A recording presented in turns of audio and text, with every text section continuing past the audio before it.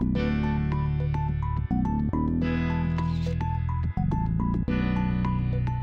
DataCube is exciting because it's a completely new approach to the way we organise and work with satellite data.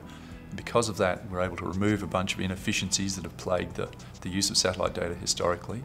And that means we can be prepared for new observations that are going to come with new satellites that might increase the amount of data we have by 20 times in the next few years. The DataCube allows us to unlock the millions of observations we have of Australia's land surface. And if we can do that, we can understand processes better and we can make much more informed decisions on land use and land management across the continent. Our vision is that we should be able to detect change pretty much as it happens on the land surface.